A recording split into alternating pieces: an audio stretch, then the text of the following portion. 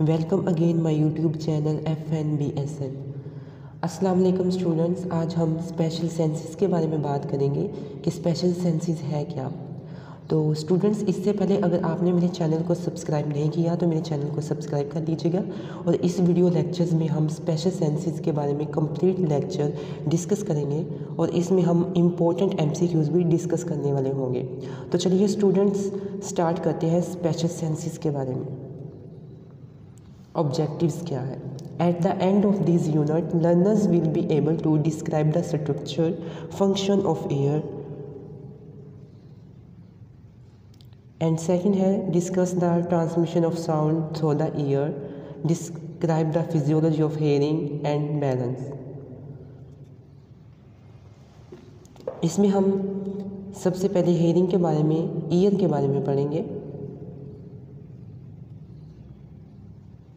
Special senses.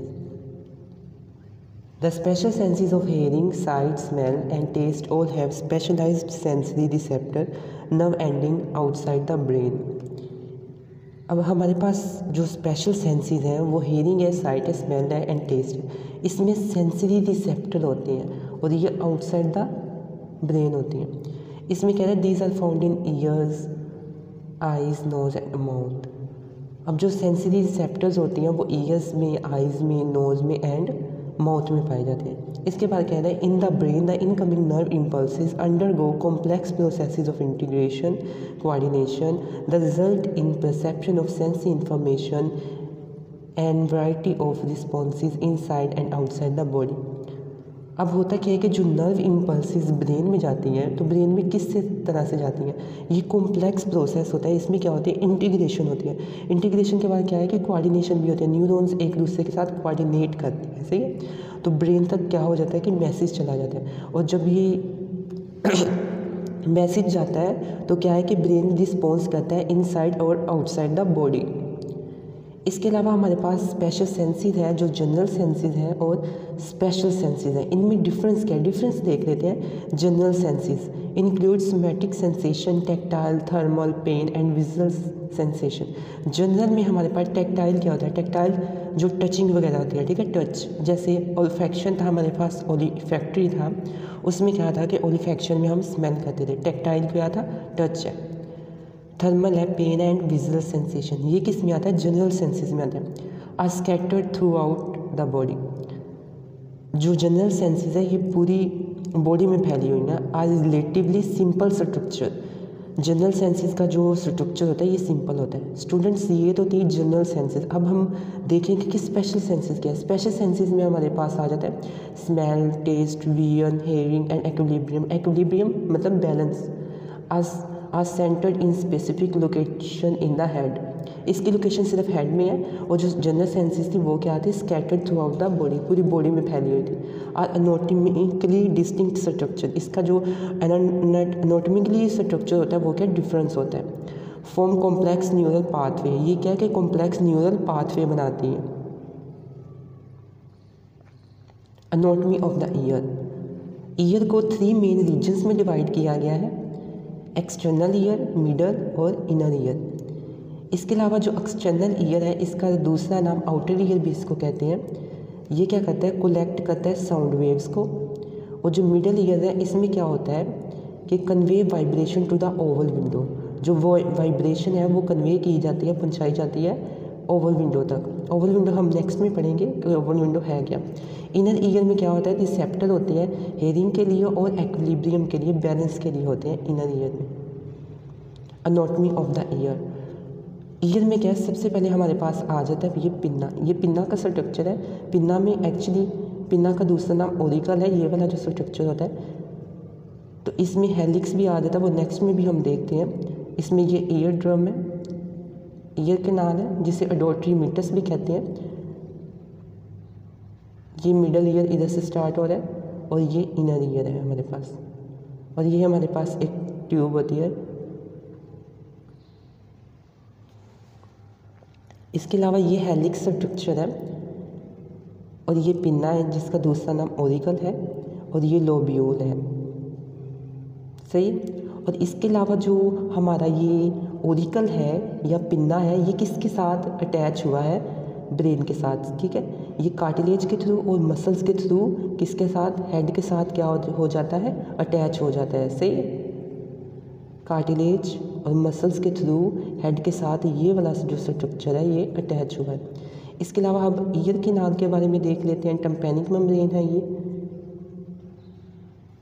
अभी हम next में भी देखेंगे। ओके स्टूडेंट यहाँ पर जो हमें ऑरेंज स्ट्रक्चर दिखाया गया है,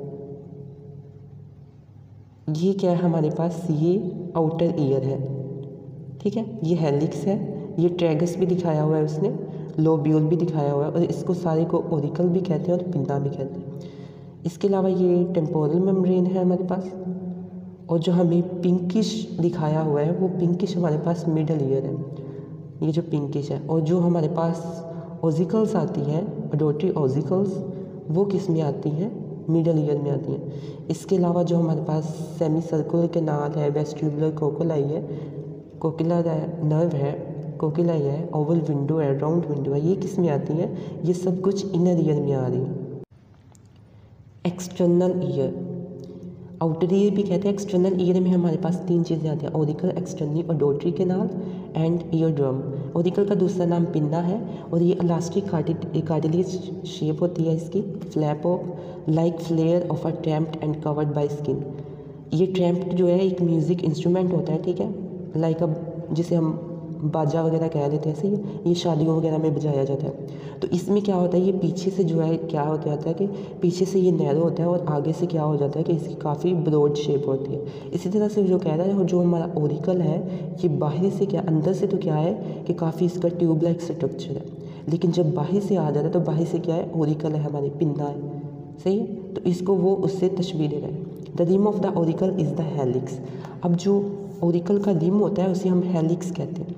जैसे कि हमने प्रीवियस स्लाइड्स में भी पढ़ा है।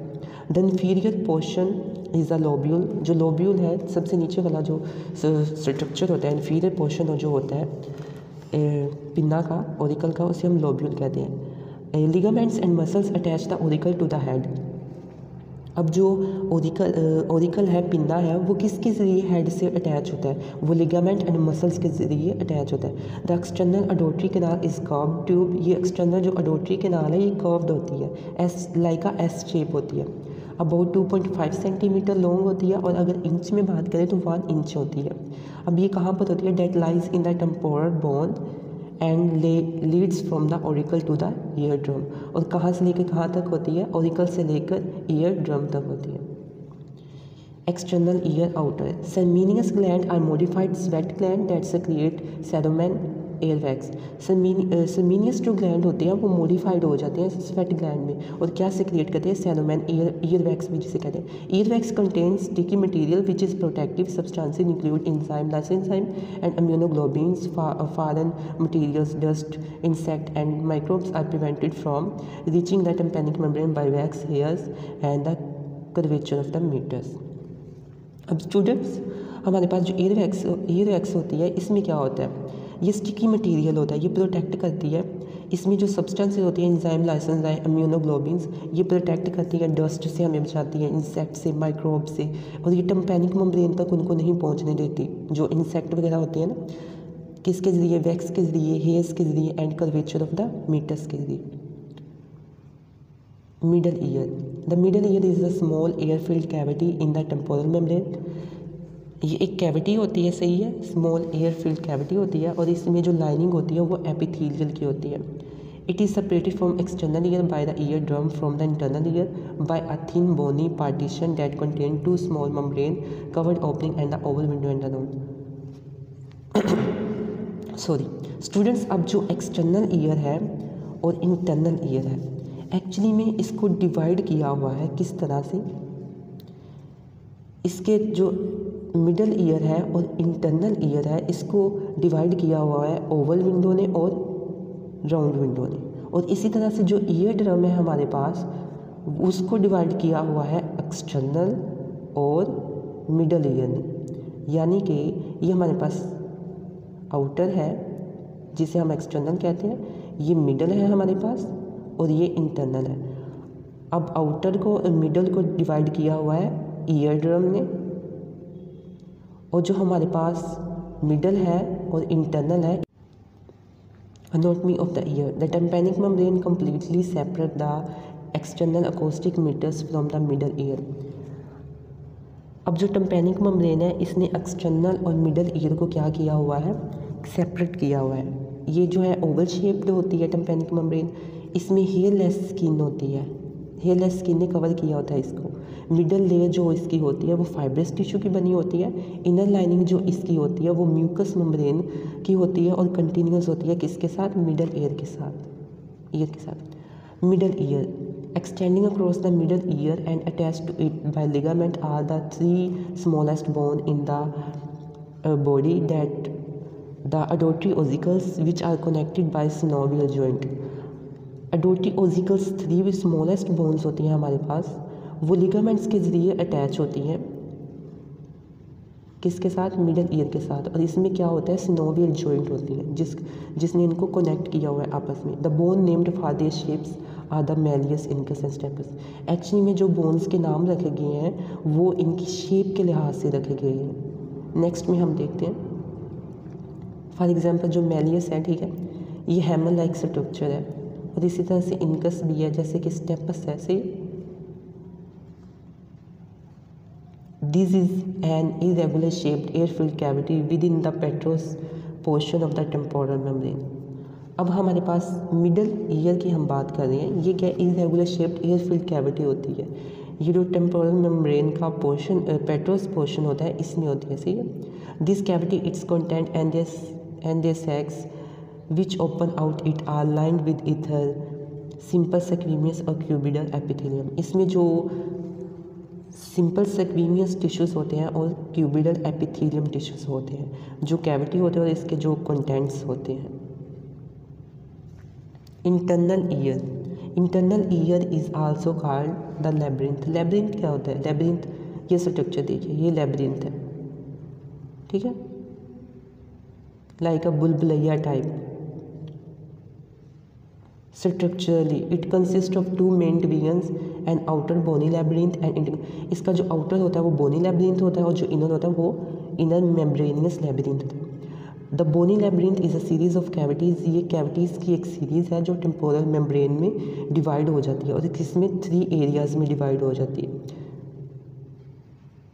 सेमी सर्कुलर केनाल में वेस्ट्यूब्यूल में वेस्ट्यूब्यूल और कोकिलाई में। कोकिलाई में क्या होता है कि कंटेन करता है receptor for hearing receptor for hearing कहाँ पे होती है? कोकिला में होती है। इसके अलावा जो इंटरनल ईयर और लेबरिंथ होता है, ये contains the organ of hearing and balance इसमें ऑर्गन होते हैं हेयरिंग और बैलेंस के। अब इसको डिस्क्राइब किया गया टू पार्ट्स में बोनी लेबरिंथ और मम्ब्रेनियस लेबरिंथ बोनी लेबरिंथ क्या होता है? ये कैविटी होती है टेम्पोरल मेम्ब्रेन में, और इसके ऊपर जो फ़र्स्ट लेयर है, इसको क्या कहते हैं? पेरियोस्टियम कहते हैं। लाइन किससे होती है? पेरियोस्टियम जो बोन की फ़र्स्ट लेयर होती है आउटर लेयर होती है, इसे क्या कहते हैं? पेरियोस्टियम क्योंकि ये बोनी लेबरिंथ है तो इसकी भी जो लाइन होगी लाइनिंग होगी, वो किससे होगी? पेरियोस्टियम से होगी। अब कह रहे the membranous labyrinth of the same shape that fits into it like a tube within the tube between the bony and the membranous labyrinth there is a watery fluid called perilymph and within the membranous labyrinth there is a similarly watery fluid endolymph actually में जो एक होता है बोनी बोनी labyrinth होता है और एक होता है हमारे पास मम्ब्रेनियस लेबरिंथ ये दोनों ट्यूब्स होती हैं अब वो अब ये ट्यूब्स होती हैं तो बोनी लेबरिंथ्स में क्या हो जाता है इस ट्यूब में फिक्स होता है मम्ब्रेनियस लेबरिंथ। ये बोनी लेबरिंथ है और इसमें क्या होगा? Membranous labyrinth. अब जो बोनी लेबरिंथ होता है, इसमें पेरिलिम्फ पाया जाता है फ्लूड और जो मेम्ब्रेनियस लेबरिंथ है, इसमें एंडोलिम्फ पाया जाता है। The bony labyrinth consist of bony labyrinth में सेमी सर्कुलर केनाल्स थ्री होती है वेस्ट्यूब्यूल होती है, और कोकिलिया होता है। अभी लाइन विद हेयर सेल्स इसमें हेयर सेल्स भी होते हैं मकैनो रिसेप्टर भी कहते हैं इनको। वेस्ट्यूब्यूल। वेस्ट्यूब्यूल का क्या काम होता है? Vestibule expanded part near as the middle ear middle ear के पास जो एक्सटेंडेड पार्ट होता है, उसे वेस्ट्यूब्यूल कहते हैं। The oval and round window are located in its lateral जो ओवल विंडो है और राउंड विंडो है, वो उसके लेटरल वाल में पाई जाती है। It contains two membranous sacs the utricle and the saccule जो सेकोली और यूट्रिकल होते हैं, ये क्या होती है? इसकी टू मम्ब्रेनियस सेक्स होती हैं। इसमें वेस्ट्यूब्यूल में पाई जाती हैं। इम्पोर्टेंट इन बैलेंस ये भी रोल प्ले करता है किसमें? बैलेंस में। Cochlea this is a snail shape this is snail shell it has a broad base इसकी जो बेस होती है, वो ब्रॉड बेस होती है। काफ़ी जो है खुली होती है। It is continuous with the vestibule and narrow apex ये जो है वेस्टिब्यूल के साथ कंटिन्यूस होता है और इसकी जो एपिक्स होती है, वो नैरो होती है। Its spirals round a central bony column semicircular canals. There are three tubes arranged so that one is situated in each of three planes of space actually में ये सेमी सर्कुलर कनाल होती है मतलब सेमी मीन्स हाफ़ यानी कि ये बिल्कुल circular नहीं होती, ये सेमी सर्कुलर थ्री कनाल्स होती है। अब इसका क्या काम है कि ये कंटिन्यूस होती है वेस्टिब्यूल के साथ? Physiology of hearing and balance अब इसके बारे में हम पढ़ेंगे। Physiology of hearing and balance first of all हमारे पास क्या हो जाता है? कि वाइब्रेशन ऑफ़ ईयर ड्रम हो जाती है। फिर इसके बाद क्या हो जाता है? Vibration of middle ear bones हो जाती है। इसके बाद क्या हो जाता है कि vibration of oval window movement of fluid in cochlea vibration of basilar membrane हो जाता है इसके बाद। और रिसेप्टर होते हैं हमारे पास हेयर सेल्स बैंड जो हेयर सेल्स है वो बैंड हो जाते हैं। अब हेयर सेल्स के बैंड होने से क्या फ़र्क पड़ता है? इसमें ये होता है कि जो के पॉजिटिव आइंस होते हैं वो इन्फ्लक्स हो जाते हैं। जब के पॉजिटिव आइन इन्फ्लक्स हो जाएँगे तो जो रिसेप्टर हेयर सेल्स है वो क्या करते हैं? उनका वोल्टेज हाई हो जाता है। सही है?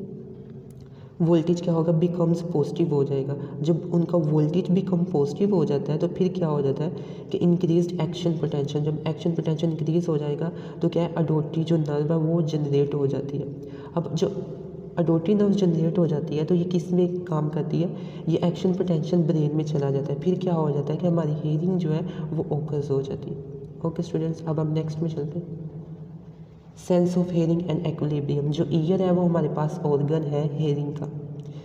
The ear also contain receptor for equilibrium इसके साथ साथ जो ईयर है वो एक्विलिब्रियम के रिसेप्टर भी ईयर में होते हैं, यानी बैलेंस के रिसेप्टर होते हैं। Sense of hearing and equilibrium the ear organ is the organ of hearing and also involve in balance students same बात हमने पहले भी प्रीवियस स्लाइड में कर ली है। It is supplied by eight cranial nerve इससे जो एट क्रैनियल नर्व जो है, वो फ़ंक्शन रोल प्ले करती है इसमें। अब जो एट क्रैनियल नर्व है, ये इंपॉर्टेंट है, ये एम सी क्यूज में आती है, इसका नाम क्या है? The cochlear part of the vestibulocochlear nerve which is stimulated by vibration cause by sound wave अब वेस्ट ट्यूबिलो कोकिलर नर्व क्या करती है? कि किस तरह से स्टिमुलेट होती है? जब साउंड वेव्स आती हैं तो वो क्या करती है? वाइब्रेशन पैदा करती है। तो वाइब्रेशन जब पैदा हो जाती है तो उससे क्या होता है? वेस्ट ट्यूबिलो कोकुलर नर्व क्या हो जाती है? स्टिमुलेट हो जाती है। अपना जो रोल प्ले करती है फ़ंक्शन प्ले करती है। Sense of hearing and equilibrium spiral organ of Corti contains hair cell जो स्पायरल ऑर्गन होता है, उसमें क्या हो जाता है कि हेयर सेल्स होते हैं। हेयर सेल्स का काम क्या है कि बैलेंस में हमारी क्या करती है हेयरिंग में हमारी क्या करती है कि रोल प्ले करती है। The spiral organ is a coiled sheet of epithelial cells including supporting cells and about sixteen thousand hair cells, hearing receptor. अब जो ये क्या है सिक्सटीन थाउज़ेंड हमारे पास हेयरिंग रिसेप्टर है। ये किससे बने होते हैं? Coiled sheet of epithelial cells से बने होते हैं। और ये स्पोर्टिंग सेल्स भी है। Vibration set cochlear fluid in motion pressure waves cause vibration अब प्रेशर वेव्स क्या करती हैं कि वाइब्रेशन काज करती है? वाइब्रेशन किसकी वजह से होती है? प्रेशर वेव्स की वजह से। अब प्रेशर वेव्स के बाद क्या हो जाता है कि ये जो फ्लूड है फ्लूड में बाद में कोकुलर में जम जाती है, ये वाइब्रेशन तो ये किसमें कन्वर्ट हो जाती है? फ्लूड इन मोशन में। तो ये वाइब्रेशन किसमें हो जाती है? फ्लूड की मोशन में चेंज हो जाती है। एक्विलिब्रियम स्टेटिक एक्विलिब्रियम क्या होता है? स्टेटिक एक्विलिब्रियम में हमने क्या करना होता है maintenance of the position of the body mainly है relative the force of gravity इसमें हमने जो फोर्स ऑफ़ ग्रेविटी के क्या रिलेटिवली क्या करना होता है कि जो स्पेशली हमारा हैंड होता है उसको, उसकी पोजीशन को मेंटेन करना होता है। तो ये हमारे पास स्टेटिक एक्विलिब्रियम आ जाता है। डायनेमिक एक्विलिब्रियम में क्या होता है? डायनेमिक एक्विलिब्रियम में ये होता है maintenance of body position mainly head in response to sudden movement इसमें सडन मूवमेंट्स आ जाती है। फॉर एग्ज़ाम्पल रोटेशन आ जाती है एक्सेलरेशन आ जाती है डिसलेशन आ जाती है। अब जब हम हेड को रोटेट वगैरह करते हैं, सही है? तो इसमें हमने क्या करना है कि हमारी सडन मूवमेंट्स आ जाती है। तो इसमें हमने मेंटेन करना होता है स्पेशली हेड को। तो ये हमारे पास डायनेमिक एक्विलिब्रियम में और स्टैटिक एक्विलिब्रियम में फ़र्क ये है कि ये हम रिलेटिवली फोर्स ऑफ़ ग्रेविटी के जो है मेंटेन करते हैं अगेंस्ट हेड को। और इसी तरह से डायनामिक ये है, ये सडन मूवमेंट्स आ जाती है हमारे पास इसमें। सडन मूवमेंट्स से हमने अपनी बॉडी पोजीशन को क्या करना होता है? स्पेशली हेड को क्या करना होता है? मेंटेन करना होता है। अब जो वेस्टुबिल वेस्टुबिलाई अपरेटस है, ये क्या है? जब हमारे पास जो रिसेप्टर ऑर्गन होते हैं एक्विलिब्रियम के लिए बैलेंस के लिए तो इसको हम मजमू तौर पर वेस्टुबिलाई अपरेटस कहते हैं। Receptor stimulate hair cells which send by the vestibular nerve to the cerebellum अभी जो रिसेप्टर है, वो हेयर सेल्स को क्या कर देते हैं? स्टिमुलेट कर देते हैं। अब वो सेंटी जो इम्पल्सिस है, वो जनरेट हो जाती है। अब इम्पल्सिस ने क्या होना होता है? कि सेंड होना होता है। और जो इम्पल्सिस है वेस्टिबुलर नर्व जो हमारे पास होती है एट एट क्रैनियल नर्व वो नर्व जाती है सेरिबलम में। और सेरिबलम का एज वी नो एट हमें फ़ंक्शन पता है कि ये क्या करती है? कि ये बॉडी बैलेंस और पोजिशनिंग में हमारे पास रोल प्ले करती है सेरिबलम तो work together with proprioceptors for control balance and for control and balance अब इसमें क्या है कि वो बैलेंस हो जाता है हमारे पास और प्रोपियोसेप्टस क्या है कि इसमें हमारे पास डिफरेंट मसल्स एंड जॉइंट्स की हेल्प के साथ क्या है कंट्रोल हो जाता है और बैलेंस हो जाता है। बॉडी पोजिशनिंग जो हो जाती है वो मेनटेन हो जाती है और बैलेंस में आ जाती है। इसके अलावा हमारे पास क्रेनियल नर्व्स हैं, इसमें से एम सी क्यूज़ आते हैं, जो फ़र्स्ट जो हमारे पास है नर्व्स है क्रैनियल नर्व्स है, इसी तरह से सेकंड है। जो इनकी नंबरिंग है, वो नंबर्स हैं, वो रोमन्स में लिखे हुए हैं। और इसी तरह से हमारे पास जो फ़र्स्ट है, वो ओलिफैक्ट्री है, जो स्मेल का रोल प्ले करती है फ़ंक्शन है, इसका ऑप्टिक जो है, वो सेकंड है, और ये साइट का रोल प्ले करती है, सही और ओक्लोमोटर जो है, सही है, इसका फ़ंक्शन क्या है, ये मूव्स आइज़ और प्यूपल और टोकुलर क्या है कि ये मूव्स आइज़ करती है। और ट्राइजेमिनल क्या है कि ये फेस सेंसेशन करती है। अब्यूसेंस क्या है कि ये मूव्स आइज़ करती है? फेशियल क्या है हमारे पास? फेशियल जो नर्व है वो सेवन्थ क्रेनियल नर्व्स है और ये क्या करती है? मूव्स फेस एंड सेलिवेट और जो एट है, ये इंपॉर्टेंट है, ये एम सी क्यूज में भी आती है वेस्टिबुलो कोकुलर नर्व का क्या काम है? हेयरिंग एंड बैलेंस का काम करती है। इसी तरह से जो हमारे पास नाइन्थ है ग्लोसोफ्रेंगियल ये भी इंपॉर्टेंट है, ये टेस्ट के लिए कि और जो सॉल्विंग वगैरह हम करते हैं, उसके लिए और जो वैगस है, ये टेंथ क्रेनियल नर्व्स है ये हार्ट रेट और डाइजेशन में अपना रोल प्ले करती है। इसी तरह से जो असेसरी है, ये मूव्स हेड करती है। ये भी मोस्ट इंपॉर्टेंट है। ये मूव्स हेड